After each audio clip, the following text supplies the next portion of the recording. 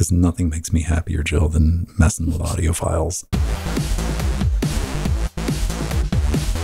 Hey everyone, welcome back to Linux Weekly, Daily Wednesdays where we sit back, relax, take that midweek break, and squeak. Yeah, we're talking about squeaking. I got a squeaky chair that I didn't fix yesterday. You ever do that? I do that. Um, you'll sit back for the uh, entirety of a day. It'll be that one thing. I got to get this done. I got to get this done. Got to get this done.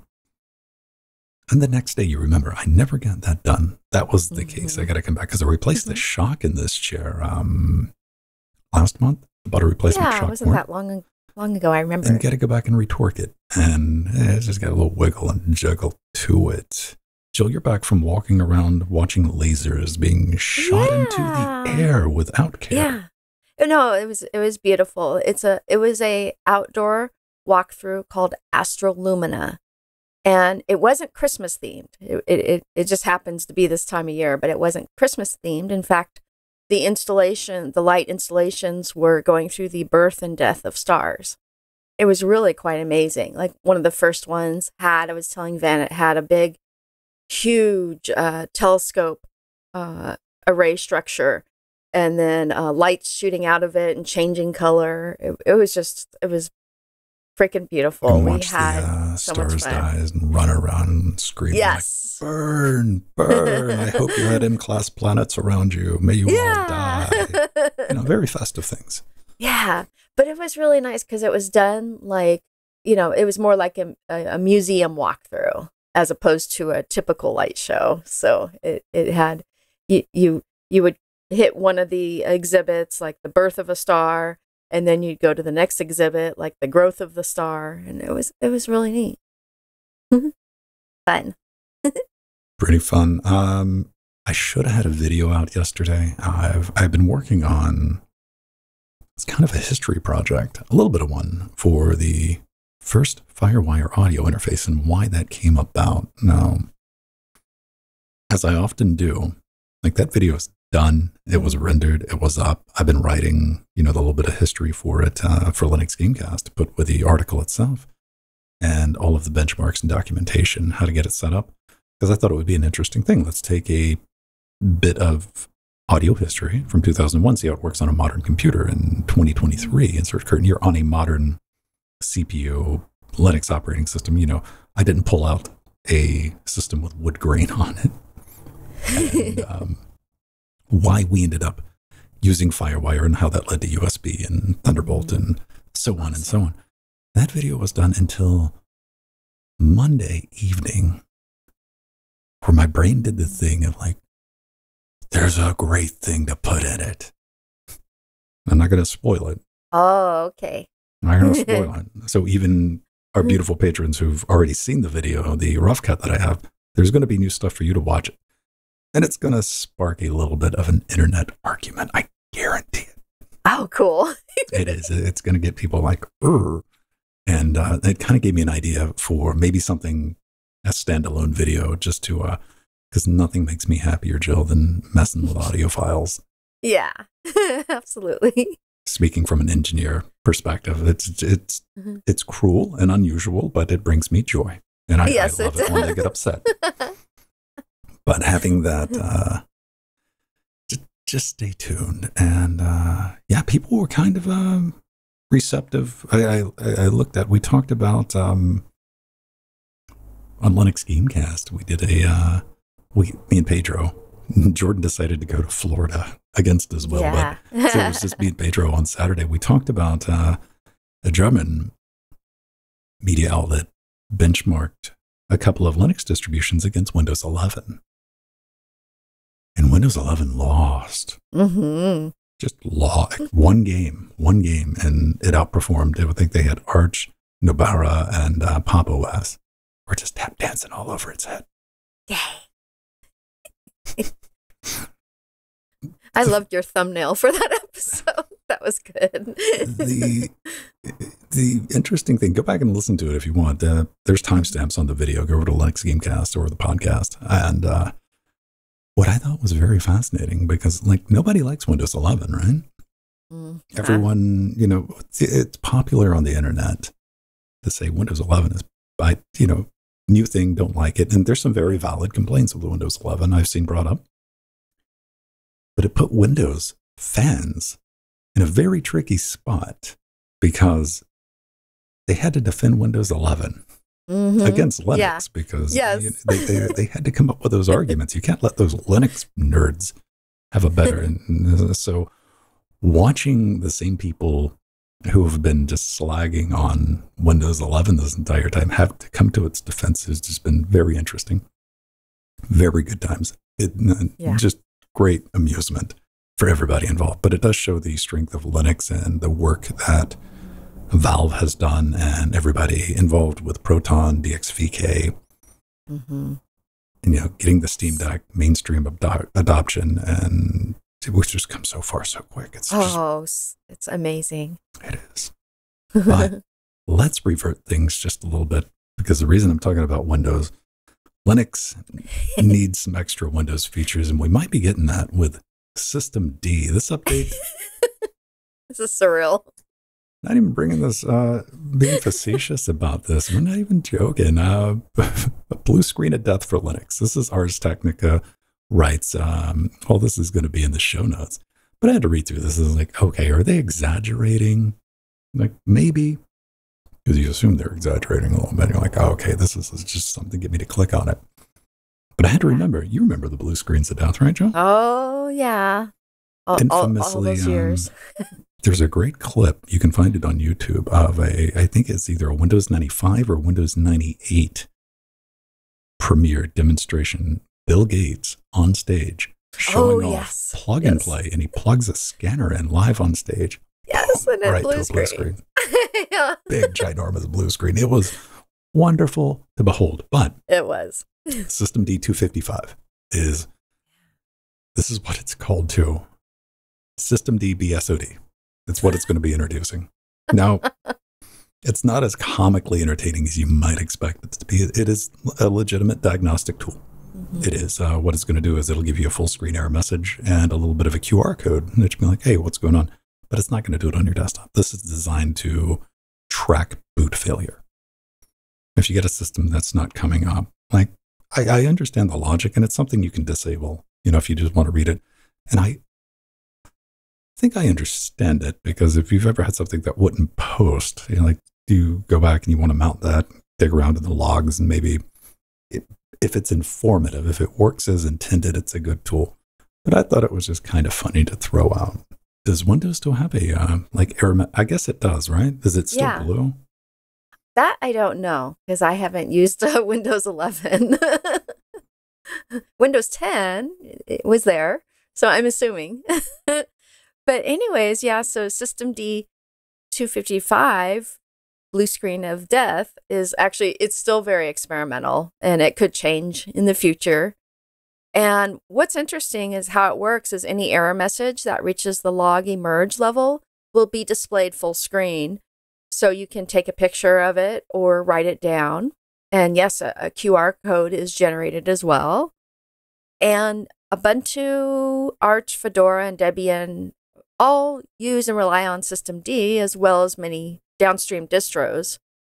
But what was so funny is actually the first thing I thought, Ven, when the internet exploded about a new BSOD feature on Linux is well, Linux error codes are far easier to fix than a random XVD error code on Windows. This was always one of the problems with um, just Windows error codes in general. They've gotten, yeah, they've gotten better, but I don't even think they've gotten better. They've gotten less informative, is what I've been told. And, uh, like, there, there used to be, you know, it would just give you a, it would barf out a string of like a string of it- yeah, it's and there was a chance where you could go and Google that and track it down, and like maybe maybe there was the slightest chance, or write it down. I guess I should say if you were staring at a blue screen at the time.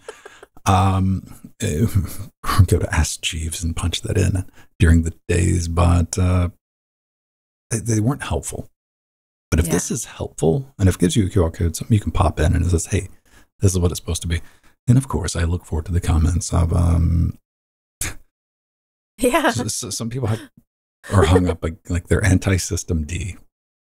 yeah, Okay, like use init Like that's great. I, I'm not a huge fan of systemd for any other reason than it's just new.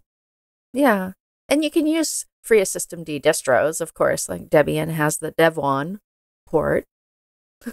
That's pretty cool. Yeah.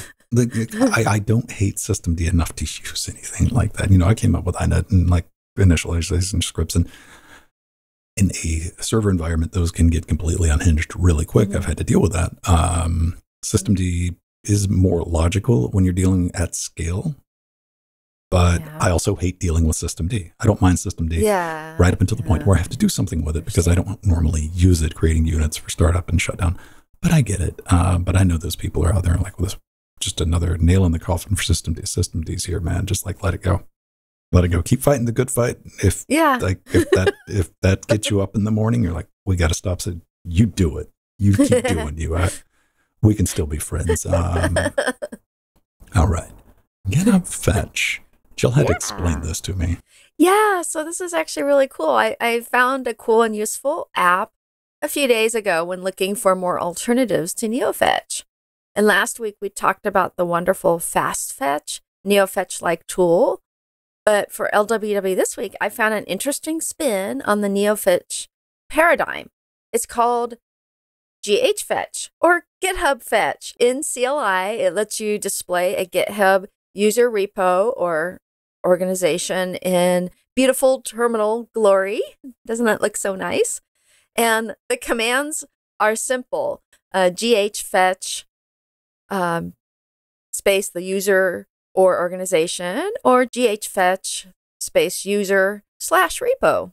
GH fetch displays a low poly profile pic, public repos, stars, followers, descriptions, and whatever user or organization or repo you choose. And I found this quite useful. I actually, the first thing I did is um, I went, I I went did a GH fetch of uh, Wimpy's World, and Wimpy's IA Get or Internet Archive Get app we talked about last week. It's pretty neat. I like little programs like this. This is uh, this falls in uh, Vin's category of things that you download. Uh, how can we get this? Oh, it's available as a snap. Lovely. Yes, yes. It is in the AUR, which is a good um, pip install. So, Yeah, Pip. Yeah, but I it does Pip. fall into that category of things that you install, you run once, and you never do it again. You're like, Never touch it. Yeah, you look all. at it and you're like, oh, that's so cool. yeah, Mm, yeah. I think I'm going to put this on my. I have a list of programs like that that you will forget if you don't use them more often. I have gotten in my old age better at because I immediately look at something like this and not to take anything away from it, but it's like for me, I, I do the same thing with NeoFetch because I so rarely use NeoFetch, right? yeah, yeah. But I install it, I do the thing, and I'll post it in our Discord when we're having that NeoFetch off. And but I immediately go back and uninstall it, so I Mm. don't end up with just a stacked. Because then you end up two weeks later, a month later, you're looking in your home directory and like, "Wha- what's what, this? what is that dot thing? And then you got to look it up, and you're like, oh right, that was the thing that I installed to take a look at the thing. So Uh huh. yeah. we're of a certain age. We grew up on Yeah. internet. By that, everybody, I mean we're old now. Not necessarily wise, but we're old. Uh, we kind of just universally, I've found most people in IT and tech been on the internet for a couple of decades. Um, we've ended up with some shape, form, or fashion a thing I call the funny pictures folder oh yeah. on your Yeah. desktop. Mm, Saving funny pictures. Like, yeah, okay, that's cool. I don't know what I'm going to use it for. Um, there's, I forget the XKCD. You know what? Let's see if we can find that. Oh yeah, that's a classic. I don't know what number that one is, but that's a classic. Is there the alternate currency? Okay. With the there it collapse of the dollar, the government has endorsed an alternate currency. Your monetary worth is now determined by the number of funny pictures saved to your hard drive. yes. Correct. Do you know I had that printed out years ago? I remember that one. Some of us have been preparing for that For the whole moment. Now, walk into 2023, this used to be very easy to do because you had a PC, uh, but now you have not just a mobile device, a laptop. You got multiple laptops, you got multiple, you know, tablets, mobile phones, you name it. And keeping your pun- uh, funny picture folder it was easy it used to be. And I'm getting to this. Why? Because I want to talk about Rclone yes. And traditional Vin's sense of taking something very useful and reducing it down to a funny picture sync folder. Yeah. there you go. What is this? Rclone. Right on the tin, it tells you about it. This is just rsync for cloud storage made wicked easy. Now, I, I genuinely ran across this because I was looking for something to just quickly attach one of my Cloudflare R2 instances to my desktop. I needed that just to make my life a little bit easier. And it worked great for that project. But then I just got scrolling around, man. This thing's got support for Amazon S3, Google Photos, Dropbox, OpenDrive, Nextcloud, Linode. That list just keeps It's amazing. going.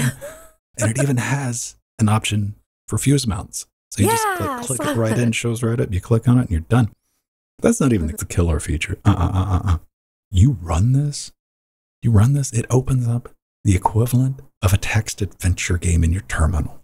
Yeah. It's like- cool. Hey, what do you want to configure? This example is for Google Photos. Why? Because I guess Yeah. what? Guess what? I wanted to have a funny pictures photo synced with my Google Photos on Android because awesome. I like to post funny pictures while we're doing the show.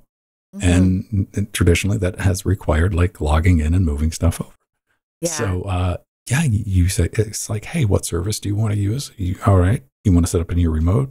Give me a password. Oh, you want to use Google Photos? Okay, that's great. Really, nothing else. And it's like, all right, I'm going to pop open a web browser, and you're going to say, hey, I want to make sure that this PC can access uh, my Google Photos. Hit Y. That's it. You're done.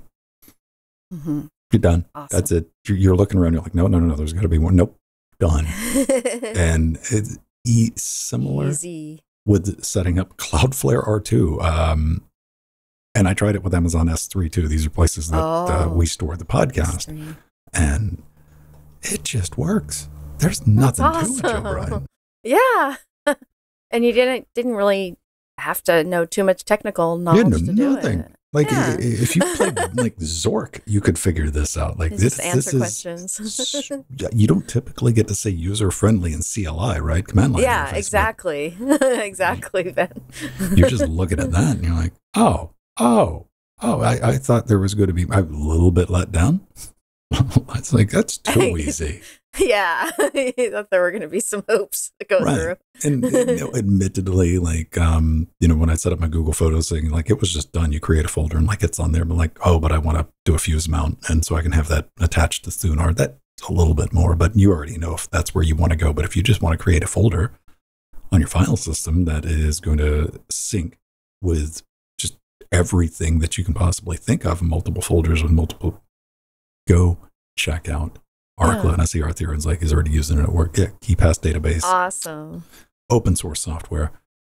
Go play with it. Now, we were talking in the pre show. Uh, if you are a patron, you get that. You get the pre show and you get the after show, podcast format, video version, the entire live stream if you want to relive it on your schedule. But we were talking about a very common question Can you buy a Raspberry Pi? a Pi 5? The answer is not really. Not right now. Yeah. But we can still be interested in them. oh, absolutely. You can pre-order on some of the sites, Yeah. but it's out of stock on others. I felt bad. I can go back and listen to the. I'm not going to repeat everything, but there's a, another post from the Raspberry Pi Foundation, and they're talking about something that we all went, wait a minute, huh? When the Pi 5 was released, I'm like, where is my M.2 slot? Right? Yeah. It didn't have we one. talked about it. Yeah. They, they, they want to tell you about this little guy. That Mhm. that PIP, Peripheral Component Interconnect Express. That's what you get on a Pi 5 instead of M.2. And like, "Mm, fine, I guess. But they do go on to explain to everyone like why we didn't get an M.2 on the Pi 5. And three main things the price, the power, and just finding a spot to put it on the board. That was Mhm. another issue. You see, adding that M.2 it would have cost a wee bit more. And Yeah. it would also have forced you to have a 3.3 volt, 3 amp power supply. Then, you know, what you're going to do? Well, this is what they're going to do. The, Mhm. This is the prototype M.2 hat. And no, it's not going to look like that. And it's no longer just a hat. So here's a picture of a thing that is useless. I get you tried to make a joke. However, it's going to look something like that. That's the M.2 Hat Plus. Should be ready in 2024, and it's going to use their funky little connector for PCI Express, and it'll give you that M.2 slot, which we all kind of want. And plus, it's going to have the hat pat, you know, the um, GPIO pass through, Yeah. so you're not going to lose that. Um, but they're saying they had to do some work on the software, the firmware bits, to make sure all this works. What do you think about that? Yeah. Well, th- this makes sense, and you know this this is why the Raspberry Pi company you know took a bit bit to release the hats. They were working on a new standard and needed to get the software ready for it. And you know when the Raspberry Pi Five was released in October, me and Ven had talked about it. In in the future, they would release like gigabit Ethernet with power over Ethernet plus support on a hat coming soon. They haven't announced that one yet, but I'm sure we will hear about that one very soon. But the this uh, NVMe hat, you know, is going to be on its way, and it's now coming early next year. So that's very exciting news. I was really happy to hear this news, especially you know because that that's going to be one of the first upgrades I do to my knew it. Raspberry. I knew you weren't, I knew you weren't going to get through this show without holding it up. I wrote it down. yes. Yay. Now, one of the questions I have is um, for the Raspberry Pi Foundation and for the, um, which I've, I've come to find out there, there's Raspberry SBC White Knights, people who want to protect, it. like, you dare not talk bad about Raspberry Pi or you dare not talk about Rock Mhm. Pi or whoever Pi, and they're going to defend it just blindly. Mhm. Would adding that M.2, because that's, that's really ultimately what we want is the M.2 Yeah. slot. Um, at least I can just speak for myself. And would that have been more or less than whatever this hat's going to cost? I'm guessing it would have been significantly less than Yeah. the added complexity of an entire new hat. Mm. And I don't know. I, I kind of hope that maybe we'll get a variant in the future. Maybe there'll be a hardware revision. I wonder if there's more people out there like that, or people are Yeah. excited about. And here's another thing. What if I, I want to put another hat on it, Jill? Like- Yeah, yeah, I, I want. I want an M.2 and I want to add a hat to it Huh. to put expansion on it. I just used up all my expansion. Maybe they were going to have a Beowulf of cluster hats. 'em they got good reasons. I mean, for them, you hmm. know, and that's where it's got to make sense. They want to keep the price down, keep the footprint where it's at, and you know, power connectors because you know people are going to plug the wrong stuff into that. yeah. Ladies and gentlemen, that's going to wrap us up. Um, do want to thank everybody. I see Basil there with 47 month resub. I saw Nubbin throw down uh, resub along with Mir. But if you want to help us out, head over to linuxgamecast.com. We got a support button. We got Patreon. Uh, we get a just a chunk of bonus content each and every week. If you want to take advantage of that, if you can kick us a buck a week, that'd be awesome. We got Liberapay, we got PayPal, we even got crypto, but we also have Amazon wish lists. If you want to pick us up Mhm. from something for the show, something we're going to show on camera, send us a little note. We'll read it. We got merch store, Amazon storefront, and of course, humble affiliate. Yeah, there's our humble links. affiliate. yeah, we were talking about that. yeah. Humble is getting. I, I got to go look with like my humble notifications because I only want to be notified of uh, like the humble bundle, like the big ones, right? The big ones. Same here. Yeah. I don't like go to Humble to buy stuff uh, typically, unless it is a bundle or a music pack or something that I can't find on Steam, right? Mm-hmm. Ladies and gentlemen, we're going to roll some credits. Thanks for checking us out live. See you next week. Thank you to all all all you out there who joined us in our live stream, and to all our wonderful patrons, include, including one of our invi- advisors, our Theron, who's in chat right now. And we have our Chicago level people who are awesome, like Empty. We got our Sea Monsters, like System T. We've got our Death Notes, like M Fox Dog and Ogie One. And so many chairlings, I can barely read the text. it's pretty small. All right, everybody, get out there. Cause some trouble, have some fun with Yes. Linux, open source, whatever you need to. You know what? Even if you're running Windows 11, that's cool. That's great. Tell us how tell, tell us how it's working for you. yeah. Yeah, tell us what, what colors the blue screens. No, And and if they're less verbose than they used to be. You just shake your head and you're like, I'm sorry. I don't know how to do it." yeah. All right, everyone. Bye bye. Bye bye.